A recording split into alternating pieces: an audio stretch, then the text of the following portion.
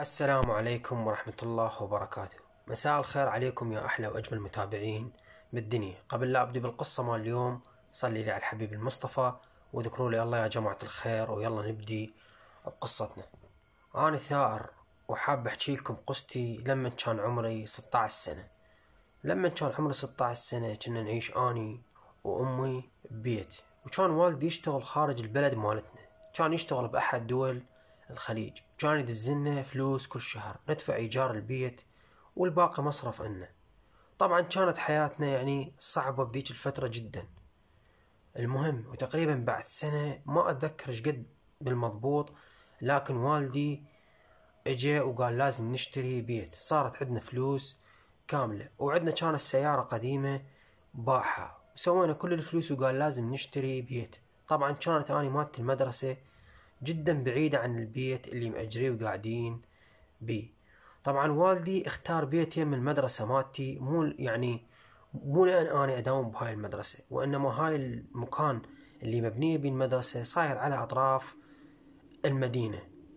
وإضافة إلى هاي يعني بيوت ما بي غير بيوت قليلة وقطع أراضي. يعني تقدرون تقولون هاي يعني منطقة جديدة. ولازم تكون بيها شوية البيوت أرخص لأن الخدمات ما واصلة بيها كامل. ظلينا ندور على بيت تقريبا ثلاثة أيام بس مع الأسف. ما لقينا. كانت بس أراضي موجودة للبيع. أغلب الناس ما عارضة بيوتها للبيع. المهم وظلينا نفتر يمكن باليوم الرابع أو الخامس ما أتذكر تحديدا لقينا بيت جدا كبير. قريب على المدرسة مالتي وبهاي المنطقة ومكتوب عليه الدار للبيع. مكتوب عليه الدار للبيع وحاطين رقم لي وشفنا يعني اللافتة اللي حاطين عليها وكاتبين قديمة جدا والبيت أصلا قديم. وقف والدي وطلع تلفونه وبدأ يكتب بالرقم ويريد يتصل عليه ويشوف هذا البيت. المن والدتي من عدته وقالت له هذا البيت جدا كبير وأكيد هسه غالي. والدي رد عليها وقال لها قال لها لا البيت قديم وجاي يشوف هنا يراد له هواي ترميم وتصليح. هاي من برا هيك لعد من الداخل شو راح يكون شكله. قالت له لا أنا قصدي على القطعة مال الأرض. يمكن هسه هذا البيت أقل شي مساحته 350 وإحنا ال 150 لقينا القطع جدا غالية. فوالدي قال لها خلينا نجرب ونتصل عليه ونشوف. وهاي كانت العصر وإحنا واقفين قدام البيت واتصل والدي على صاحب الرقم. ورن التليفون وجاوب الشخص وبعد ما والدي سلم عليه قال لي أنا لقيت هذا الرقم مكتوب الدار للبيع وأنتم حاطين هذا الرقم. أنت صاحب هذا البيت؟ الرجال قال لي أنا مو صاحب البيت أنا صاحب المكتب الفلاني. فوالدي قال له أنت متواجد بالمكتب هسه؟ كانت يعني مثل ما قلت لكم دنيا العصر فقال لي أنا موجود بالمكتب. والدي قال له ما اندل راح آخذ تاكسي وأجيك. فهو قال له لا إذا أنت من البيت خليك أنا راح أجيكم بسيارتي الخاصة وآخذكم. طبعا والدي تفاجأ من عنده يعني ليش راح يجي هو يأخذنا؟ المهم ظلينا ننتظر صدق شوية واجتي سيارة وقفت قدام البيت ونزل من عندها رجال. وسلم على والدي مشينا وياه ورحنا رحنا للمكتب مالته ودخلنا المكتب وقعدنا أني ووالدتي ووالدي وبدينا نتكلم على البيت. بدينا نتكلم على البيت وهواي كلام وبدأ هو يقول إنه هذا البيت كانوا يأجرونه دائما المؤجرين والمؤجرين اللي خربوه وصاحب هذا البيت ما موجود يعني خارج البلد وهو مسوي وكالة الشخص ثاني اللي هو المحامي وكذا يعني بالبيعة مالته. فالمهم والدي سأل على سعر البيت وقال له هذا البيت بيش يريدوه. تفاجأنا جدا بالسعر. السعر مالته كان سعر قطعة مية وخمسين. ووالدتي صح التوقع مالها. البيت مساحته 300 متر. تفاجأ والدي وقال له شلون القطع بهي السعر ولا؟ يعني والبيت بهي السعر. قال له خلص صاحبه ويريد يبيعه لأن كلهم مسافرين خارج البلد وأصلا ما محتاجينه. وخلص هو عارضه بهذا السعر. فوالدي ظل يلح عليه ويسأل ويقول له ليش هيك سعره وشنو الكذا؟ مع العلم هو هذا البيت صاير يعني منفرد وما يمه جيران. صاحب المكتب قال لوالدي قال له أنت بعدك ما شفت البيت من الداخل يجوز ما راح يعجبك ويجوز هذا السعر زايد عليه. فش وقت تحبون تروحون تشوفوه؟ والدي قال له هسه نرجع عليه ونشوفه. الرجال قال له هسه ما أنصحك ترجع عليه وتشوفه. صارت دنيا الليل أو دنيا المغرب وبعد ما راح تشوفون شي بين ما نوصل البيت راح يعني ليل وما بيضوى هو وما بي اي طاقة في سبيل تشعلون الأضوية وتشوفون البيت من الداخل. طبعا اقتنعنا بكلامه وصدق طلعنا من عنده وقلنا له على باكر إن شاء الله نجي ونشوف البيت. والصدق رحنا تقريبا الساعة تسعة الصبح نشوف البيت. وقفنا قدام البيت وننتظر بصاحب المكتب يجي هو والمفتاح مال البيت. تقريبا لحد الساعة تسعة ونص يلا إجي. ولما أجي مباشرة فتح الباب ودخلنا. دخلنا للبيت كان البيت جدا وسخ غراض ما بي بي يعني عدة شغلات لازم تتصلح وأمور لازم تتصلح. يعني وقتي مباشرة لازم قبل ما نقعد بيه تتصلح. فضل والدي يباوع عليه بس مع العلم إحنا فكرنا إنه هو راح ناخذ قطعة أرض مو بيت. المهم ظلينا نفتر بالبيت. اللي خلاني أني أستغرب الكتاب اللي موجودة على الحائط. كتاب على الحائط وعلى البيبان وبكل مكان موجود. بالبيت كانت أكو كتابة يعني آيات قرآنية مكتوبة على الجدران. وأحد الغرف اللي موجودة جوا اللي كانت صغيرة كانت مرسومة عليها رسومات مال أطفال. والرسومات هاي المرسومة كانت جدا غريبة. يعني الرسمة هاي مستحيل يرسمها طفل شكلها غريب جدا ومرعب. راسمين يعني أشخاص بملامح غريبة أو تقدرون تقولون يعني مثل الوحوش. مع العلم هي رسمة للأطفال. وإحنا جاي نفتر بالبيت ونشوف والدي اقتنع بيه ووالدتي وقالوا البيت رات له تصليح نصلحه قبل لا نقعد بيه وبعدها سدينا البيت وطلعنا. طلعنا كنا ورحنا للمكتب نتفاهم شلون راح ينتقل البيت باسمنا. وصدق هذا الرجال صاحب المكتب قال بس تدفعون فلوس البيت مباشرة للمحامي. الوكيل هو راح يجي ويتنازل. لكم بالبيت وهو راح يمشي الأوراق لأن هو مسؤول عليه. وصدق كل الأمر تقريبا ما طول. خمسة أيام وصار البيت باسمنا وأول ما صار البيت باسمنا والدي قال راح أجيب عمال ينظفوه. وبعدين والدي قال أنا ما ظل عندي غير 15 يوم. وبس بهاي ال 15 يوم أقدر أظل لازم أجهز البيت كامل وننقل غراضنا وتقعدون بيه لأن بعدها أني راح أسافر وأرجع لشغلي وصدق راحوا وجابوا عمال يعني والدي راح جابهم وبدأوا ينظفون بالبيت. ويصلحون بالبيت وأنا أغلب الأحيان أقضيها يم العمال اللي موجودين لأن والدي كان يروح ويقول لي ذولا ما يشتغلون بضمير إذا ما يظل واحد واقف فوقاهم وراحوا وبدأوا يصبغون بالبيت وصبغوا البيت وجهزوه وما بقى البيت محتاج أي حاجة. يعني بعد بس ننقل الغراض بيه وصدق تغير شكله 180 درجة. صار بيت ثاني وجديد. وبقت بس الغراض مال بيتنا ننقلهن ونوديهن للبيت الجديد. لكن والدي قال أكو غراض أنا ما أحتاجها وراح اذبها وراح أجيب غراض مكانها جديدة قام يجيب الغراض مباشرة يخليهن بذاك البيت. ومرت الأيام وعدت. وما ظل غير على السفرة مالت أبوي غير ثلاثة أيام ولازم يسافر. وبهاي الثلاثة أيام نقلنا الغراض مالتنا للبيت الجديد. نقلنا الغراض للبيت الجديد وقعدنا وبدينا نصفط بيهن. وأنا طبعا هم جاي يصلحون بالبيت ويصبغون. أنا اختاريت غرفة. الغرفة اللي اختاريتها كانت بالطابق الفوق. وهاي الغرفة أنا اختاريتها لأن كبيرة جدا وبداخلها موجود حمام. وكنت أنا أحب هيج نوع من الغرف. اختاريتها وأخذتها. مع العلم ما موجود أحد غير بس أني ووالدتي. بس والدتي قالت لا من جدتي وشافت إنه أنا ماخذ الغرفة الفوق ومختارها. قالت لي لا أنت تظل بالطابق الأرضي يمي. آني أبوك يسافر وأنا وحدي أخاف أظل. قلت لها لا لازم آني أقعد بالغرفة الفوق. أنا أريد الغرفة الفوق. وبعدها ظلينا شوية نتجادل. بعدها والدي قالها أنت صغيرة وتخافين هو وياك بالبيت. عود إذا خفتي بس صيح علي ينزلك كنا فرحانين بالبيت وبدينا نصفط بالغراض ونرجع هذا هنا ويعني اقتراحات هنا نخلي هيك لون بردات كذا. المهم كملنا البيت كامل. وبعد ما كملنا البيت كامل خلص اجى الوقت ونرتاح. ارتاحنا وجبنا أكل من برا وأكلنا ووراها صارت الدنيا الليل. والدتي سوت لنا أكل وهاي أول وجبة ناكلها بالبيت الجديد بالليل. أكلنا وكملنا وكنا تعبانين ومنهكين بسبب العمل. فكل واحد راح لغرفته. يعني والدتي ووالدي راحوا للغرفة مالتهم بالطابق الأرضي. وأنا صعدت للغرفة مالتي. كنت قاعد وجدا فرحان وما أريد أنام. لكن تعبان. وغفيت ومشى الأمر طبيعي. بس بهاي الليلة لما قعدت يعني الصبح تذكرت إنه أنا كنت أسمع صوت مزعج موجود بالبيت أو كأنه عندنا جيران وجاي يسببون إزعاج. لكن أنا متأكد إنه ما عندنا جيران ابدا. ما عرفت الموضوع أهمية وقلت أنا احتمال يعني تعبان ونعسان حيل ومجرد هاي الأصوات شفتها بأحلامي. وبعدها طلعت للمدرسة لأن قريبة علي ومشت الأيام ووالدي سافر. وصفينا بس أنا ووالدتي بالبيت. طبعا أنا كنت متعود يعني بالليل.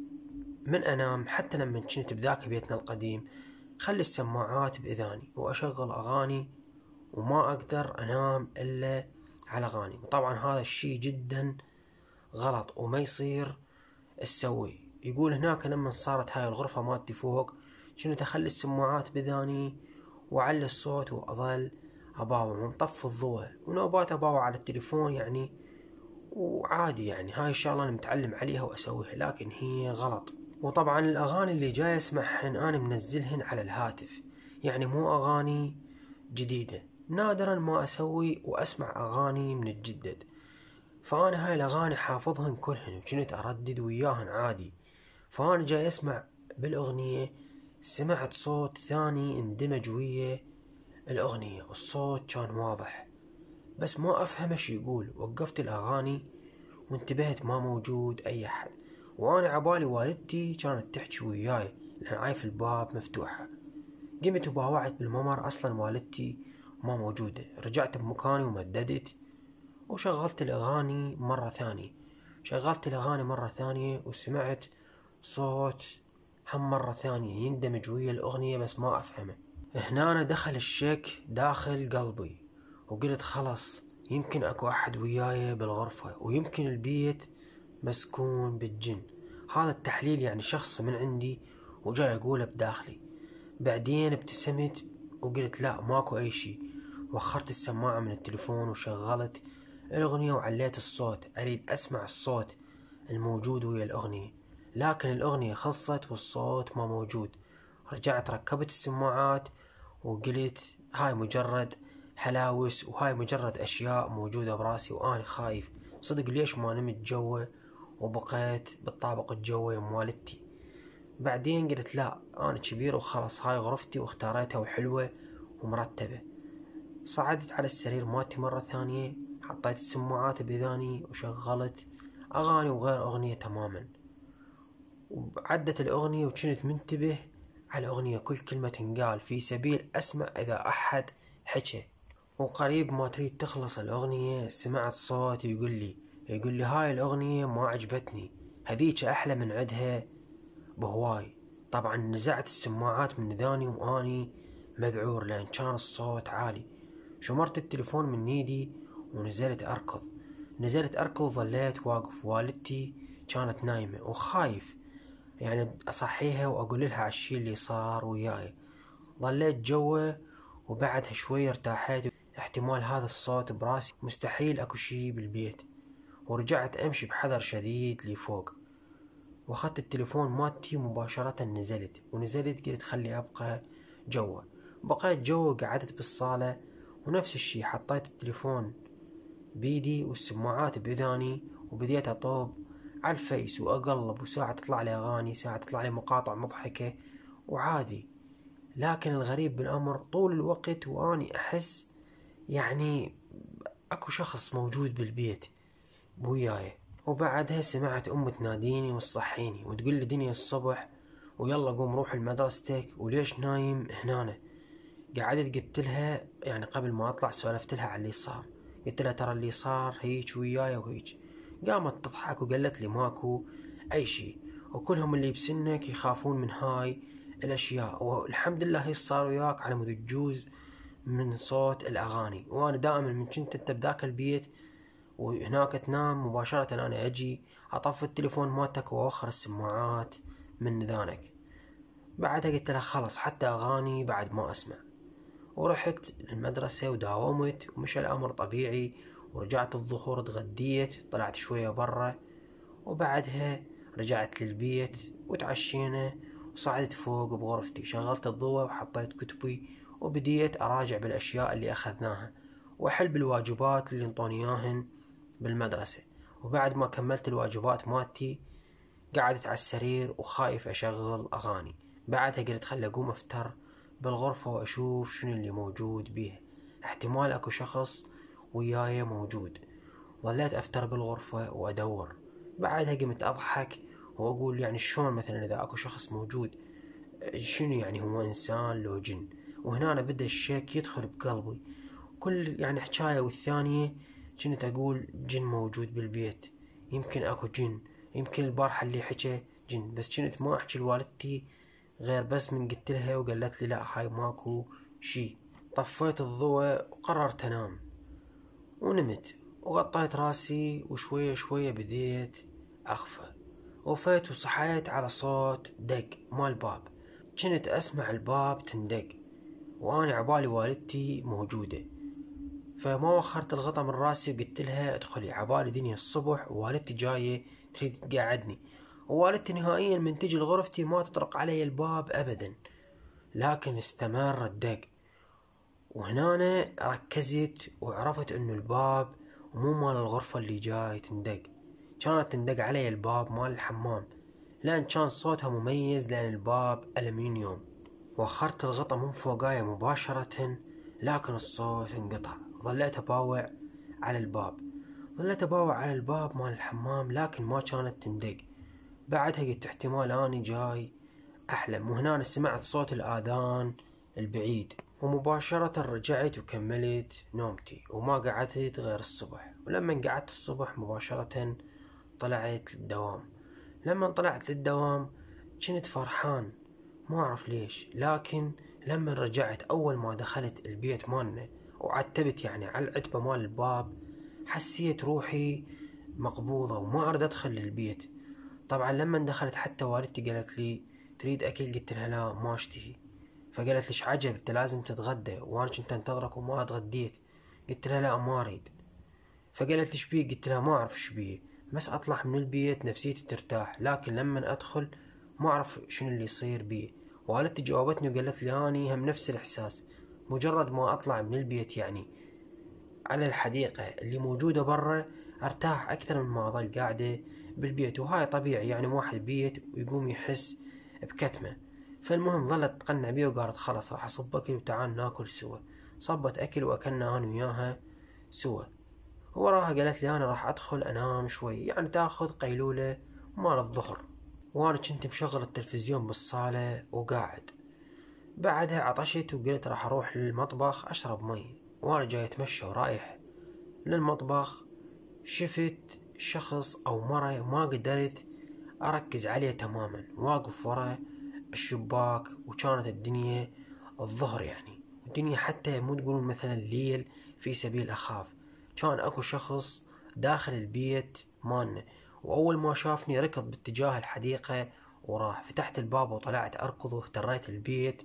كله ما لقيت أي أحد. ظليت أفتر بالبيت لكن ما موجود أي أحد. البيت مالنا كان داير ما داير أكو يعني فراغ. تقدر تفتر بيه وافتريت داير ما دايرة بس ما لقيت أي أحد. وما قدرت حتى أميزه. وراها دخلت للبيت وقعدت والدتي وحكيت لها. قالت لي هاي الأشياء أنت جاي تشوفها ببالك وما موجودة. لأن لو موجودة أصلا هي دنيا النهار وضوء طالع يعني على الأقل كان قدرت تحدد الشخص.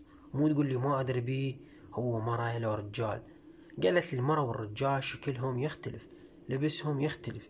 يعني مثلا أنت شايف لك مرة لابسة يعني لبس مال رجال أو شايف لك رجال لابس هدوم نسائية. فصدق أنا اقتنعت هنا بس قلت لها أنا شفته وبديت أقسم لها وأحلف. واقولها كان واقف هنا كان لابس هدوم سود وبعدها ركض واختفى وما قدرت أميز شكله عدل. هو مرة لو رجال رجعت وابتسمت بوجهي وقالت لي ماكو اي شي لا تخاف.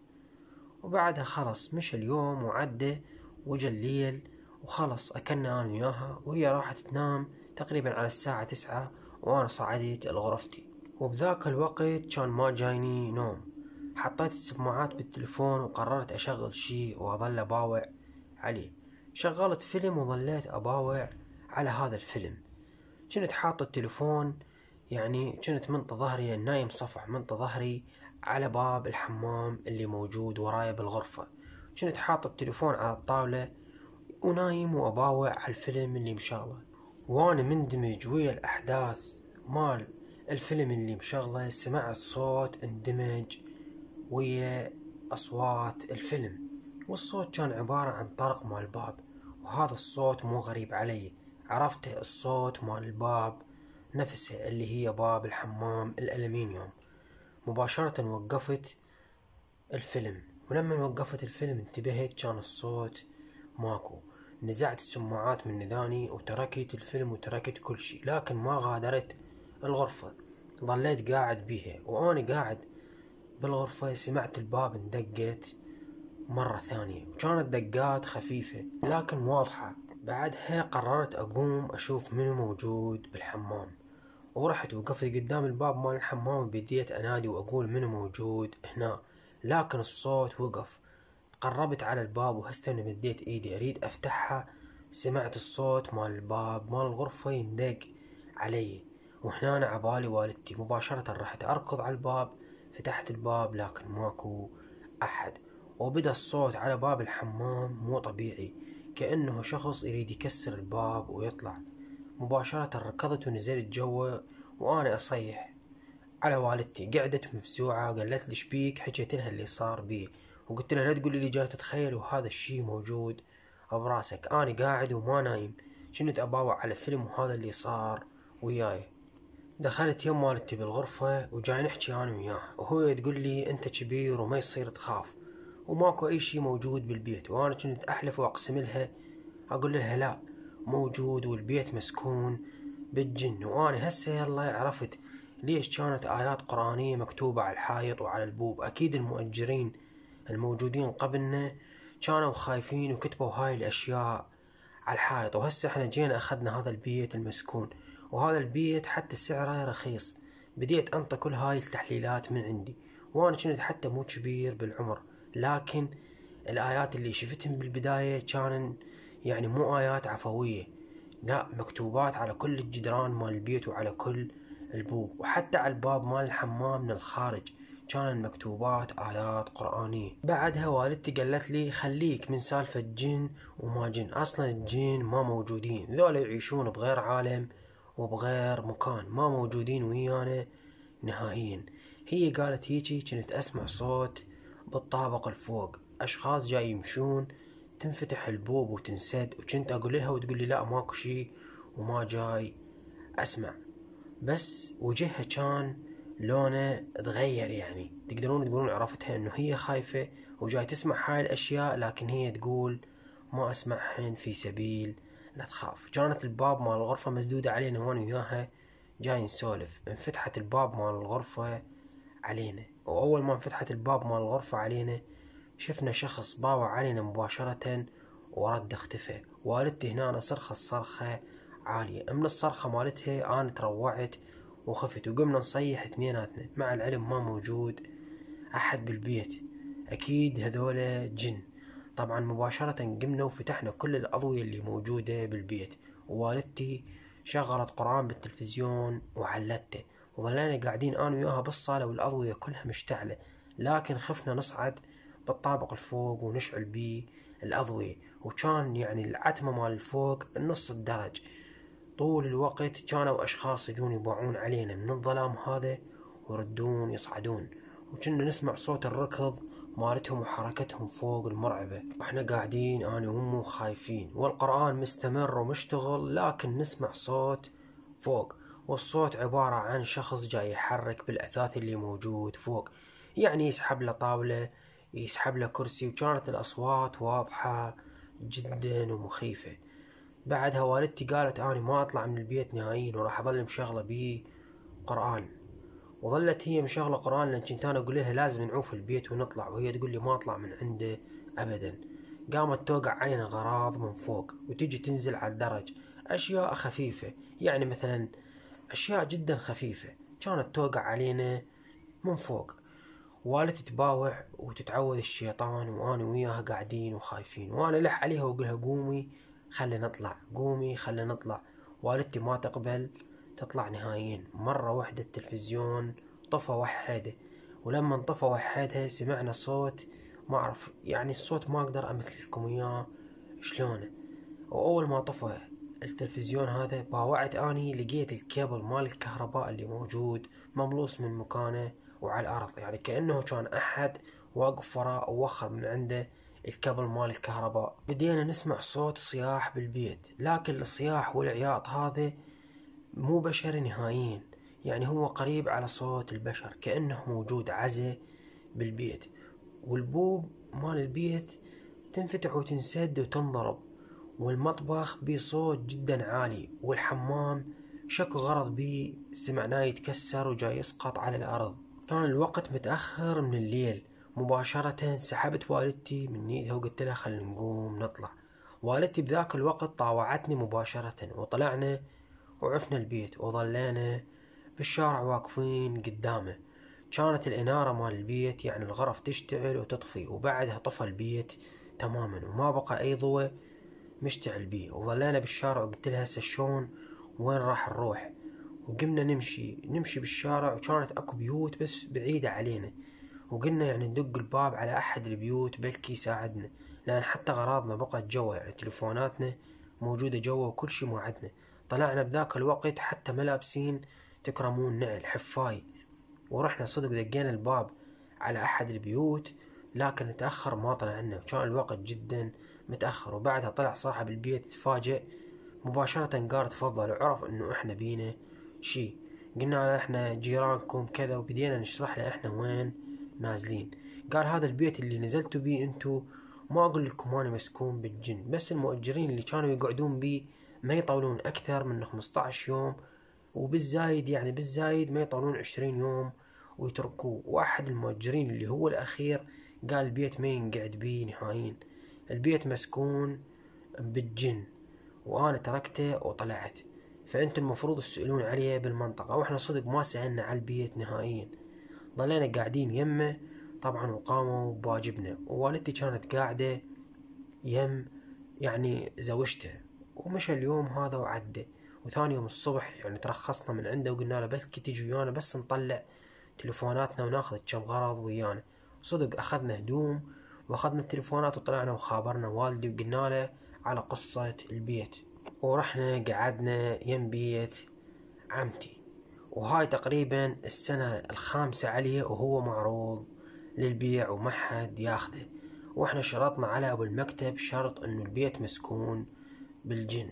تقول لأي شخص وينباع بنفس السعر اللي إحنا اشتريناه. وصدق ظلينا قاعدين إيجار وراحت فلوسنا بهذا البيت وحتى نخاف عليه نروح نهدمه أو نبني غيره. وبال أصلا بالمنطقة هاي كل العالم تعرف بي البيت مسكون بالجن. إذا عجبتكم القصة ادعموني ب like اشتركوا لي بالقناة فعلوا لي زر الجرس وانتظروني غدا بقصة جديدة إن شاء الله.